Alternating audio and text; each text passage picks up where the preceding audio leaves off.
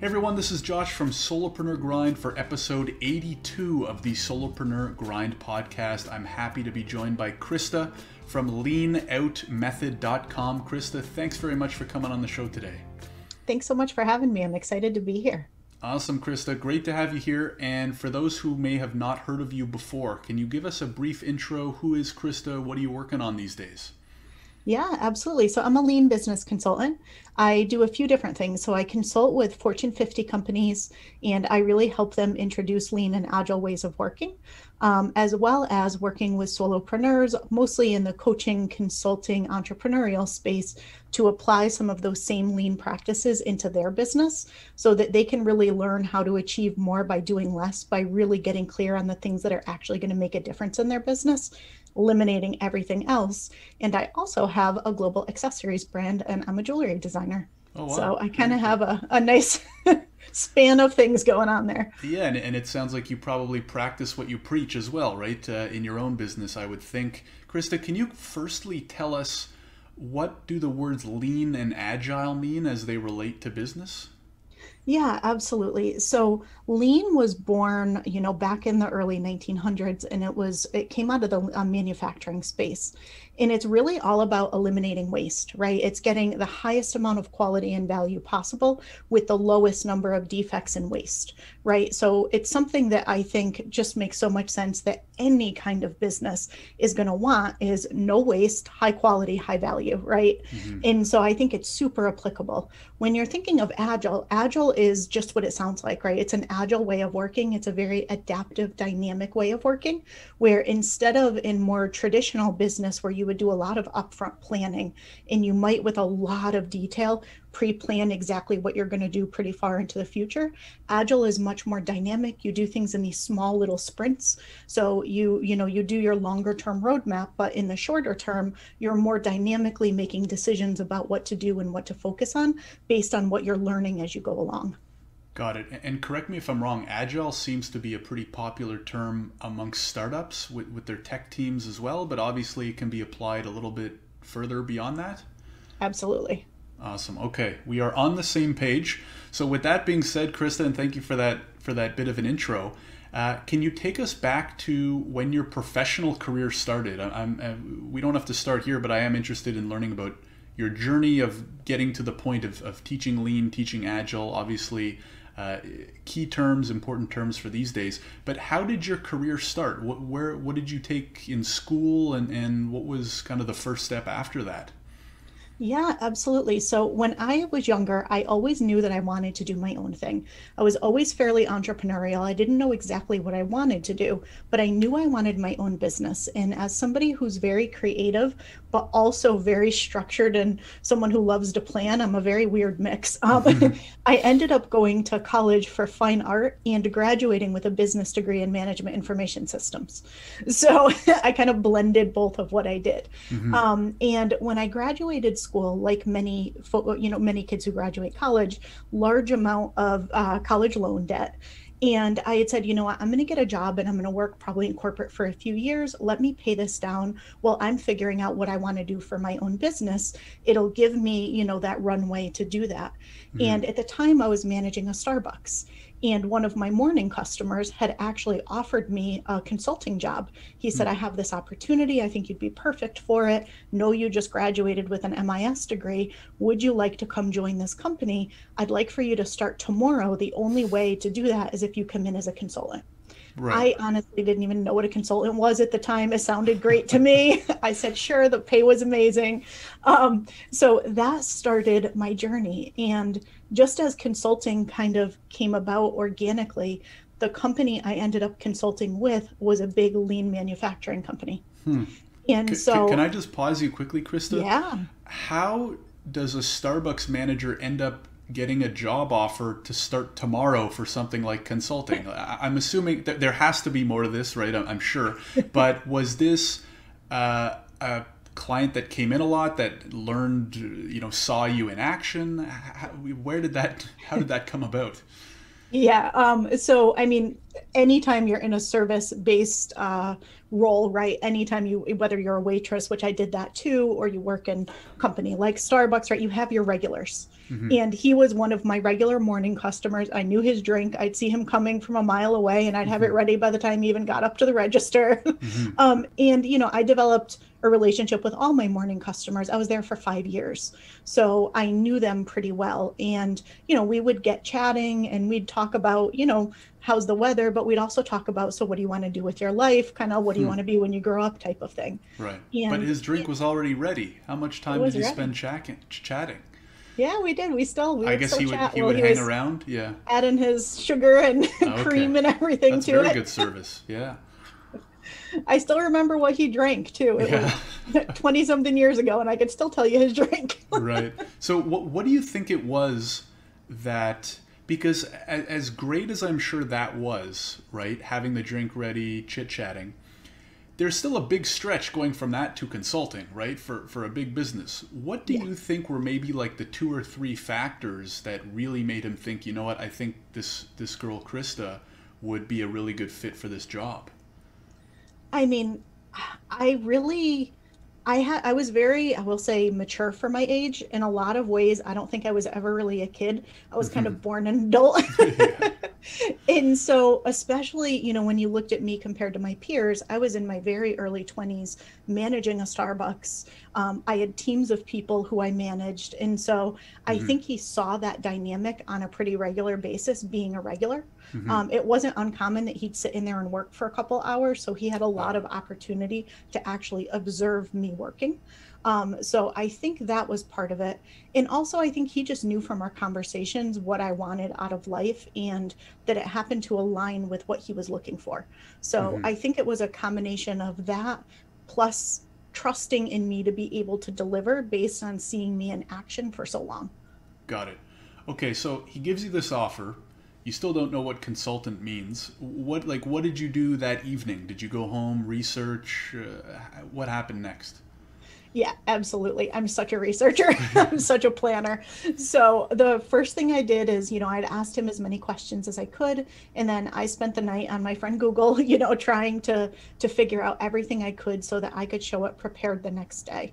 Mm-hmm. And the very first thing I ended up doing was going into the consulting agency that was going to be placing me and negotiating salary and getting all that done. And then I started um, at 10 a.m. that next morning. Jeez. And so I'm trying to figure out what do you even ask for as a consultant? I'm not quite sure. and so he had given me some ideas on a range, but it was really up to them. And right. they paid me way more than I thought that I would ever make just graduating from college. Right. Um, so it was it was a pretty great experience, but a little bit nerve wracking. I bet. So so how does that work? They they place you. He placed you with an agency that would then place you at his factory. Yeah, so anytime you're in the corporate space, it's really difficult as an individual to go into a company. So, what typically happens is you end up having to get placed through a consulting agency. Mm-hmm. Um, and so, what he did was he set me up with one of the pre approved consulting agencies wow. that he knew would be able to process me that morning and get me in the door the next day, like literally that right. day. Jeez. Mm-hmm. That's incredible. Okay, so let's hear about um, what exactly did he have you doing, and how the heck did you figure out how to help them do it? Like, you know, this is brand new, right? Completely. And so I should mention that I had actually managed businesses from the time I was 16 and I had actually run two coffee shops. I opened up um, the very first drive-through coffee shop ever in the state of Connecticut. Hmm. Um, it was one of those old little photo booths that had been converted. Um, I'd managed a bakery, so I had a lot of experience managing, and that was something else that he knew. And so when I came in, the role that I was given was basically a project manager. I wasn't called that. I was called a move coordinator, which sounds so much less fun. Yeah. Um, but it was really a project management role, which I realized pretty quickly when I got into it. And that was what I loved so much about it because I had always done management. But I'm thinking I just graduated from college. I don't have any you know real track record who's going to hire me at some big company as some sort of manager or leader straight out of school and i ended up actually getting into that role thanks to him which mm-hmm. was amazing your first job out of college as a manager right right um, so, so, so how, how did great. that how did, has that flipped then your your because you just told me a very common kind of thought process that a new grad would have, which is I'm a new grad, why should I be hired to do X or Y mm-hmm. or is it you know insert higher level job here type thing. Um, so it did that or or since then have you changed your outlook in that regard or maybe another way to ask the question is if a recent grad were to come to you and say Crista you know i'm, I'm recently graduated but i really want to do x y or z that's not a typical fresh out of college or university type role what would you say to them yeah, I mean, I can tell you a little bit about my story too, because it was really interesting. But what I would say to them is, I think you have to know what you're capable of today versus what you aspire to do tomorrow. And I think there is a difference. And if you aspire to do that, then I think that you want to set those expectations very clearly with wherever you go to work or whatever you're even doing if you're working with, you know, an entrepreneur and, and part of a small business team, right? You want to set those expectations and say, you know, I understand I may not have these skills today, but this is what I want to do. What opportunities can or what things can I take on now to mm-hmm. learn those skills so I'm ready for that role? Um. And if you have those skills today, what I would say, kind of lesson learned, is if you can demonstrate that you actually do have those skills, people will usually take a chance on you. Um, I found that repeatedly throughout my career. I had to fight really hard for things sometimes, but people did ultimately take a chance on me, and I proved that I could do it over and over again. So they kept taking bigger chances. Right. Yeah, it's it's a great lesson. I mean, ultimately, if you're trying to get somewhere great, there's going to be some tough times, right? Everybody's road's going to be windy and, and uphill at certain points. So, so yeah, that, that's a great point. So, Crista, take us back to you, you start work and you're figuring it out, whatever it is. What were kind of the first six months like? And then what was the next step of the journey? Honestly i would say my the reason i was as successful as i was and what a lot of those first six months were like and i think this is true for anybody anytime you do something new it's relationship building. It was understanding what i needed to do and then going out and personally talking to people and learning as much as i could and being in a place of service and how could i help them um, the nature of being a move coordinator was I was taking our business and moving us from one physical building to another physical building. And the beautiful thing about that was I literally moved every single person in the company. So I mm-hmm. touched every single person in the company. So I set up meetings with every single person in the company. It did not matter if they were, you know, the account executive or the person who was doing tech support. I met with absolutely everybody. And I would always ask, you know, what can I do to make sure that this move is completely seamless, you know, for you? Um, and I delivered on that, but it gave me such um, it just it, it gave me a lot of confidence which is great. But mm-hmm. b it gave me a lot of flexibility in what i did next because everybody knew me and i actually delivered on what i said i was going to do. So mm-hmm. they immediately trusted me um, which was huge. Right. That's great. So so obviously performed very well. And then what was the next step from there yeah, so you know, I throughout the past 20 years have continued consulting. Um, I've gone through a lot of different companies. I stayed with that company for about seven years. Um, and then from there, I moved on to several other companies. Right now, I'm working with a Fortune 10 company. Um, and so I very much enjoyed and liked the consulting space, um, really working with businesses to help them lean out and introduce those lean practices.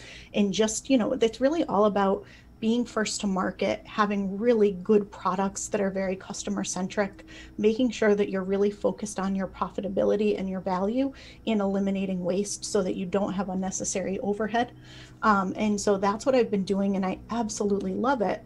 And throughout that journey, I started my jewelry business. Mm-hmm. Um, I finally figured out what I wanted to do, mm-hmm. and I started my jewelry business. And this was probably about 15 years ago or so now.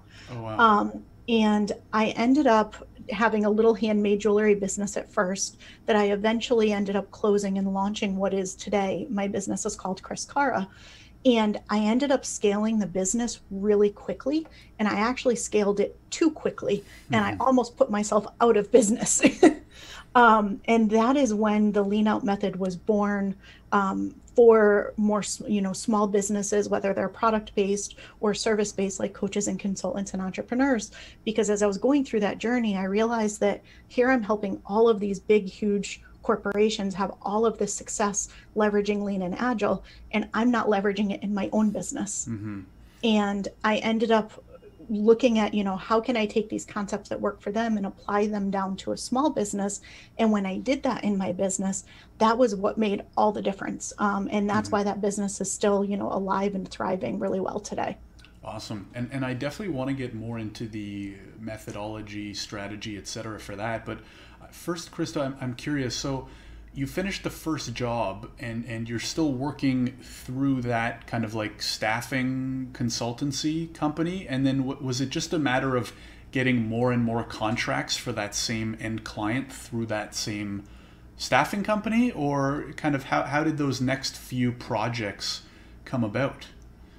Yeah so what ended up happening actually as i mentioned i was a move coordinator which was really a project manager, but without the title. Mm-hmm. Um, and so when that job was done, um, I had the opportunity to kind of pick, if you will, what I do next. Mm-hmm. And what I had said was, I've been doing project management. I want to be a project manager. And I actually got a lot of pushback, right? This was 20 something years ago. There were not a lot of women who were project managers. Anybody who was a project manager was in their 40s. they were my age now, right? They weren't 20 something just out of college. And so I got a ton of pushback on wanting to be a project manager, but I fought really, really hard for it. And again, people took a chance on me. I did really well. And what happened was I really quickly went from being a project manager to a senior project manager to a program manager to a senior program manager. And then I took over global uh, project management offices. So I hmm. had PMOs in um, eight or nine different countries with different project managers all over the world reporting to me. And so I had done that with that first company and then moved on and did the same thing at other companies. Um, and now I just consult, but for a long time I had run these big, huge teams and basically taught other people how to do what I did. Right. So, can you tell us a little bit more about? Would you consider that consulting, or or how exactly would you do? Because it almost it almost sounds like you're being hired as a contractor to be a project manager with that company, which might be a little bit different from I don't I don't know. Maybe you would call like strategic consulting or management consulting. Yeah, yeah. Today I do management consulting. At that time, I think you're absolutely right. I would probably call it a little bit more contracting, um, mm-hmm. hired for specific jobs um, or specific roles. Today, I'm a straight up consultant right? It. It's I am a management consultant today. Got it. Um, but and I was in the beginning when I first started as well. But for a period there, I went through, and you could definitely say contract. There were times I actually took roles as a full time employee as opposed to coming in mm-hmm. as a consultant because honestly, it was far better from a benefit and salary perspective. Mm-hmm. Um, so I just kind of went, you know, where the the work was, but I tended to stay with companies for about a year. Right i was there to do a job and when that job was done i moved to a different company regardless. Got it. And were you getting these new clients we'll call them or employers? Was that through word of mouth? Were you constantly keeping marketing in mind or sales in mind? No it was quite interesting right? There was only one of those that i ever went out and sought myself. Mm-hmm. Um, all of the others, I just was kind of known in that space. And so people would come to me, and usually what would end up happening is somebody would approach me and I'd say, Listen, I'm currently working on something. I should be wrapping this up in about two months. I'd be happy to come and do this for you when I wrap that up, but I want to see this through to the end. And mm-hmm. most times people would say yes. And so that's what happened. So I always had something else lined up before something else ended because I used to have people just reaching out to me a lot. And right. I would just kind of pick the ones that were most aligned with what I wanted to do next. Right. Very cool. And so, other than, of course, doing really good work, what do you think contributed to that or, or what would you recommend you know maybe someone's just breaking into consulting right now or, or they're struggling to grow their own business other than of course being really good at the product or service that you're providing uh, what do you think it was that allowed for that to happen or, or contributed to that consistent flow of, of clients coming in without even really having to do much else Yeah, I mean, it's so different today, right? As I'm trying to grow the lean out method and I'm doing all the marketing and mm-hmm. all, right, totally different than everything just naturally kind of coming to me honestly, I think it's a lot of transparency in doing what you say you're going to do. And so, yes, you obviously have to be really, you know, good at what you do, especially if you're in a specialist role. People are looking for a certain result from that. So, mm-hmm. you certainly want to deliver it but I think you just need to be really transparent, right? People are usually really understanding. Um, what I saw so many of my peers doing, especially in the project management space, is they would know from the beginning that they weren't going to hit a date or that something wasn't going to happen. And they'd wait until it was missed and then come up with a whole lot of different excuses as to why it wasn't and why it wasn't their fault. Right. Whereas I was always super transparent, right? I was very, hey guys, I think we're at risk here. Here's what I'm seeing. I think we need to make these changes if we're going to actually be able to hit your targets. If not, here's what I see. And I was always super transparent. And so we were mm-hmm. able to get ahead of things. And it's not that I never had anything go wrong because we all do, mm-hmm. but I never had a client surprised by something. Right.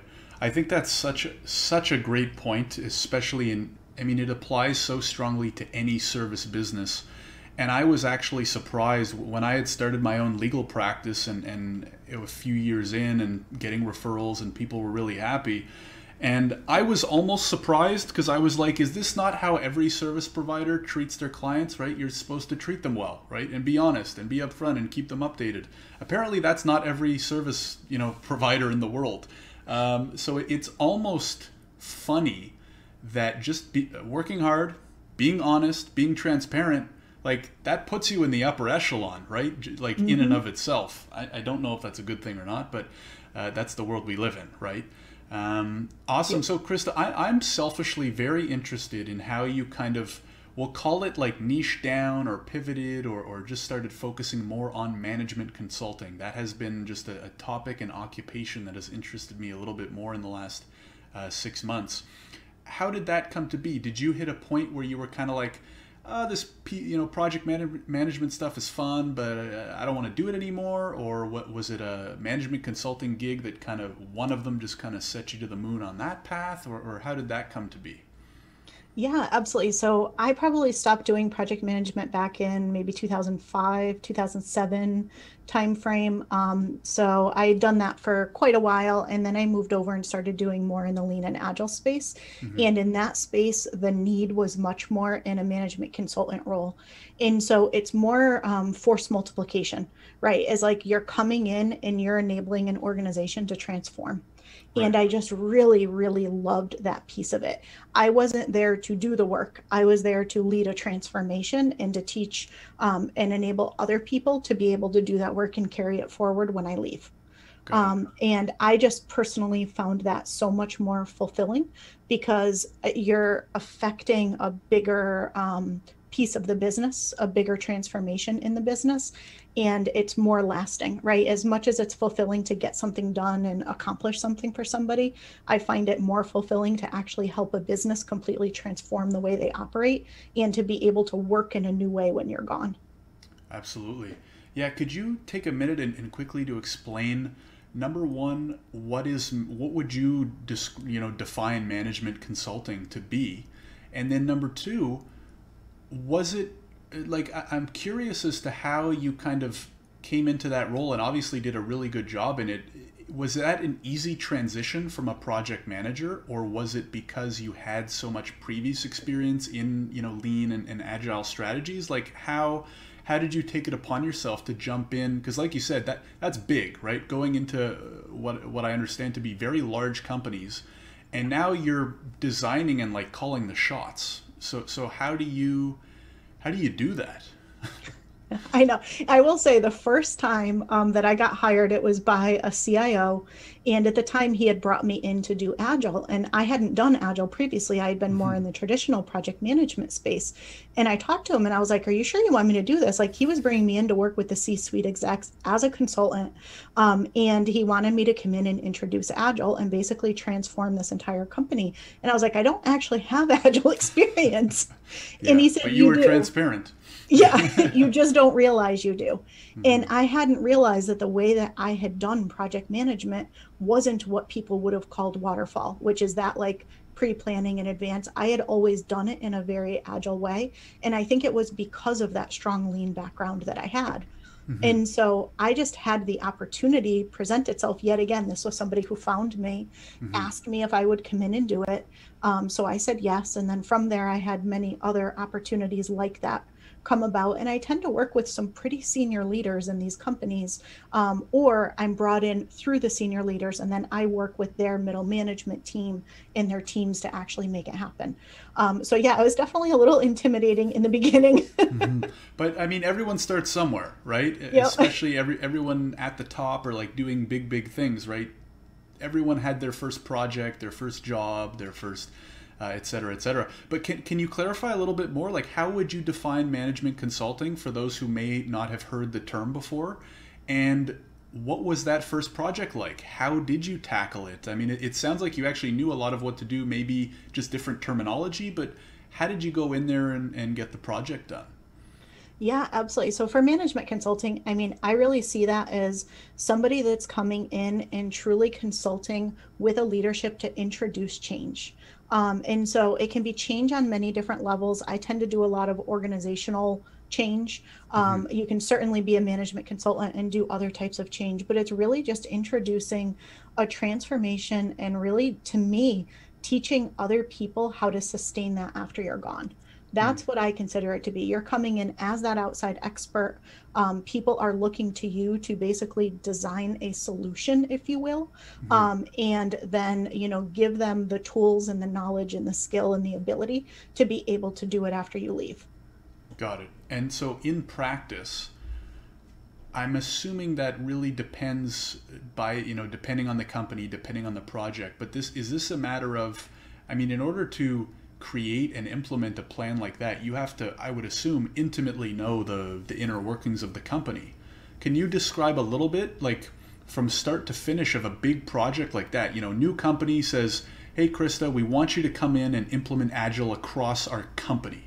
Mm-hmm. What does that look like? Are you going in, you know, spending a few weeks getting to know people, those intro meetings that you had talked about previously? I'm very curious to know what what that process looks like and how long a project like that might last for it can be years honestly depending on what you're trying to do but usually like anything you try to take a small pocket that mm-hmm. you can get some quick learnings and some quick results from that you can then grow and expand. But fully to transform a big business, I mean, some of these companies I've been at are 30,000 employees, right? It's not, it's not something you're going to do really quickly. I was with them for three years. Um, and so it's sometimes that's what's needed, but I didn't start transforming 30,000 people. I started transforming 100 people. And right. then from there you grow. And so the first step, absolutely. I'm a very big fan of there's nothing textbook, there's nothing prescriptive. There's you need to get really clear with your client on what their outcomes are and what their end result is. And when you know what that is, and then you can deeply understand their context. So, where are they starting from? What's their company culture like? What are some of the constraints and things that are going to get in the way of working in the way that you know that they need to work? And really trying to understand that. And just as you said, interviews are key, right? You have to meet with different leaders, but I like to meet with people at all levels of the organization because often the more senior the leader, the more disconnected they are from the day to day of what really happens. mm-hmm. um, so I like to do the the full span um, of control, if you will, from senior leader down to hands on keyboard people to really understand what's happening and where their true starting place is, which is sometimes a little different from where they think their starting place is. Mm-hmm. Um, and then we map out what that transformation journey will look like to get them to their end state. Again, trying to get a smaller piece where you can get some real tangible value, measure and see how it's working, and then pivot and adjust as you need to to layer on that kind of next piece. Got it. Very cool. Yeah, and that, that makes a lot of sense. So, Crista, in all of this, where did you find the time to start your own company? Um, and you know, did you have a lull in work, or was this is just uh, the calling that you couldn't avoid? Exactly. Yeah. It's um one of the nice things about being lean, right, is I help people a lot with trying to figure out balance, especially balance if they're doing multiple things, right? Maybe they're building a business while they already have a job, or maybe they're in a place like I am right now where they're in a transition state, where they're going from one thing that they're doing where they want to move towards something different, but there's an overlap period where you're doing more than one thing at once, mm-hmm. right? And it's you just have to be super lean in that place right? You you there's no room for waste. You just have to be really really intentional about everything that you do. And if you do that really strategically you can absolutely do multiple things like i do and build a business while you're consulting very full time mm-hmm. um, and still do it without completely burning yourself out or really overwork and overwhelm. Absolutely Makes a ton of sense. So take us to the start of the lean out method. You, you said that was kind of brought upon by this jewelry business where you kind of had a taste of your own medicine, so to speak. Uh, how did that come to be? Yeah, absolutely. So at the time that I had started my jewelry business, the way that companies like mine kind of hit the market was you would go and do the trade shows. So you'd go around, you know, they're pretty expensive to invest in the trade shows. You're flying all over, you're flying all your product and your booth design with you. You're meeting with all these different retailers. Um, at the time, uh, most buyers, um, they expected product immediately. So you would design a collection, you would pre invest in the collection, and you would hope people bought the collection. Um, as you can imagine, that did not always work out as well as I had wanted it to in the early days. Um, and so we had, you know, approached it the way that we thought we were supposed to approach it. My husband and I, he was a partner with me in the business at the time.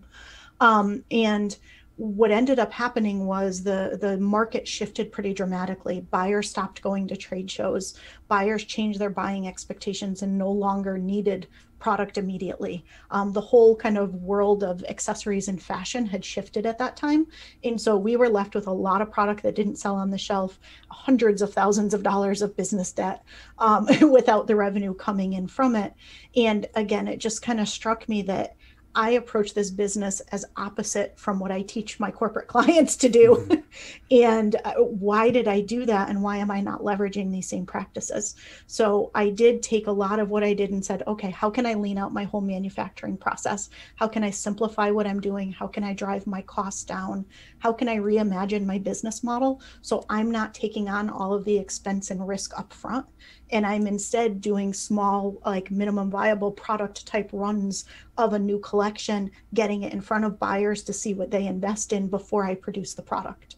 And so I completely changed the way that I did my business. And in doing so, a lot of other businesses that were also struggling because everybody in the fashion accessory space was really struggling a lot at that time started coming to me and saying, what are you doing? Can you help me? Um, mm-hmm. and then beyond that, coaches and consultants and other service providers started coming to me and asking if I could help them. And that's kind of how the lean out method was born. Got it. And so how do you how do you define it?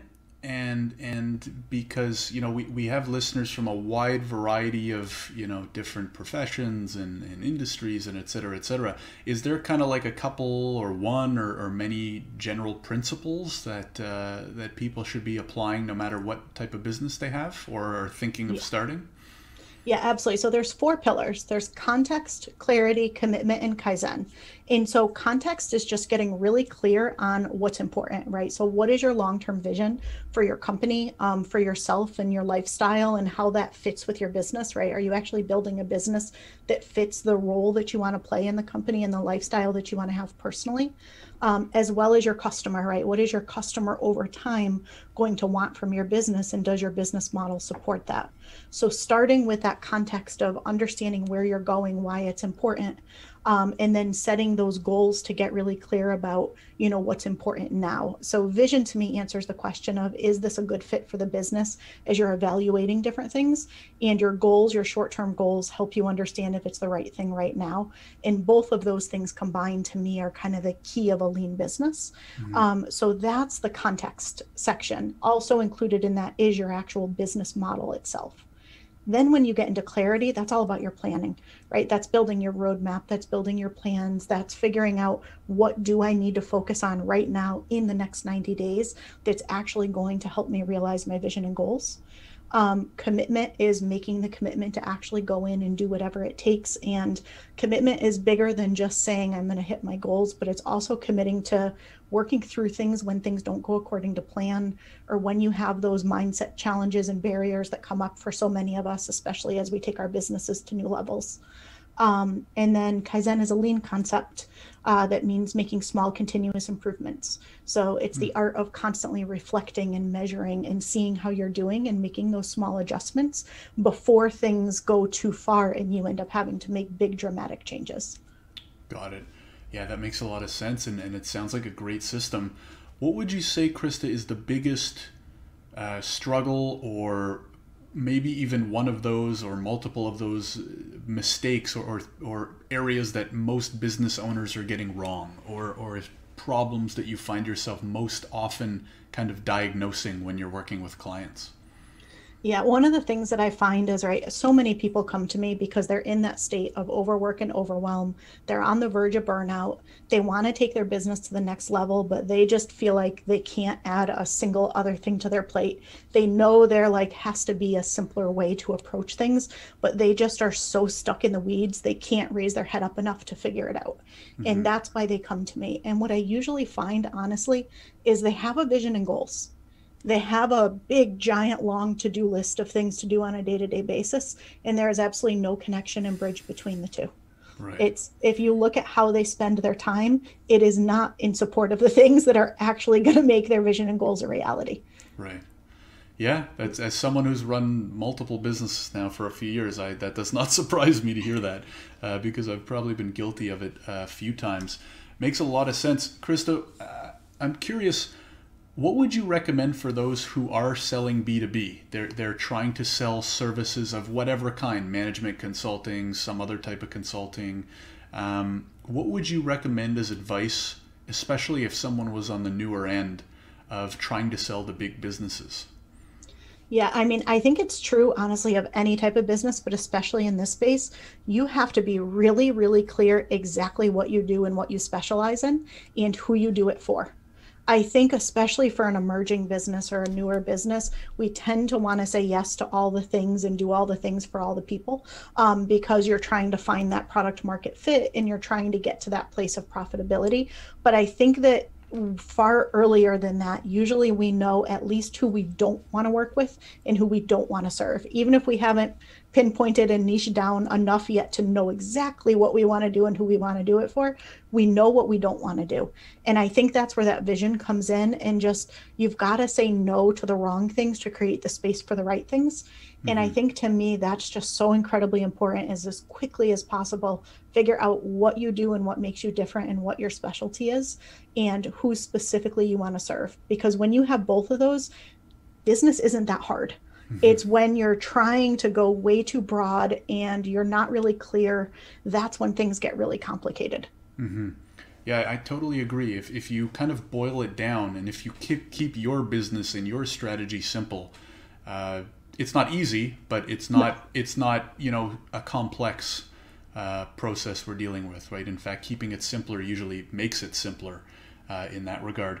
Crista, the other thing, uh, kind of one of the last topics I want to touch on is we've covered a lot of really cool strategies, methodology. You know, you've had a very interesting career, uh, project managing, management consulting, starting your own jewelry business.